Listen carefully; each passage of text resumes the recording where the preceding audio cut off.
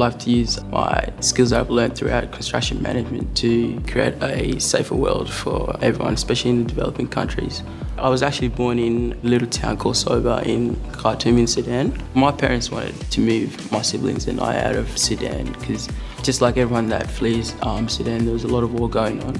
But ultimately, they just wanted a better life, better education for us, and somewhere safer to grow up.